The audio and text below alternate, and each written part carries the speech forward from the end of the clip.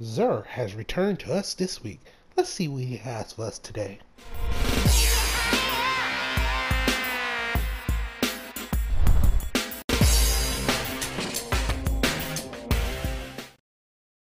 Hey, what's up everybody? It's your boy Karpo here with another Destiny 2 video. Today we're going to be showing you where Xur is located at and what kind of exotic he has for us today. Now he is located on Titan as you can see. So you want to go ahead and spawn into the rig and go ahead and follow this where I'm going. If you haven't been here today, he's located in this yellow little building. So now that we are here, oh yeah, get our dance on, and let's see what Xur has for us this week, November the 17th, 2017. Now, first off, we have the lovely Hard Light. This is the first time you had it. This is a Destiny 1 return weapon with a few little minor adjustments, and it is pretty nice.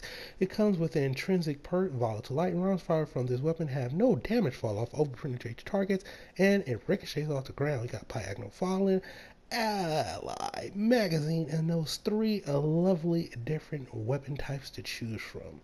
Void, Solar, and Arc. Last but not least, composite stock. If you don't have it, grab it. It is very fun to play with good in PvE and PvP. Next up, we have the chest for the Hunter. That is the Lucky Raspberry.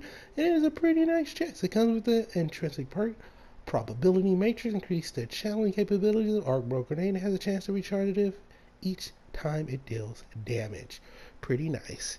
It comes with plasteel reinforced mod and also restores mod. Once again, it is a pretty nice chest. Grab it if you don't have it. Next up, we have the Synthoceps Gauntlets, and it comes with intrinsic perk, biometric enhancement, increased melee long range, improves melee damage when surrounded, and it is a beast of uh, exotic for the Titan and good in PvE and especially in PvP. Trust me, grab it if you don't have it. Next up, we have Karnstein's Armlets. This is for the Warlock. Comes with the intrinsic perk Vampire Caress. Melee attacks grants health recovery, melee grenade, and class ability energy.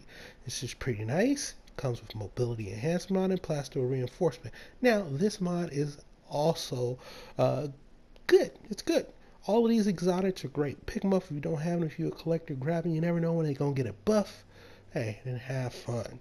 And as always, drop a like on the video. It definitely helps at the channel. And I hope we'll see y'all next time.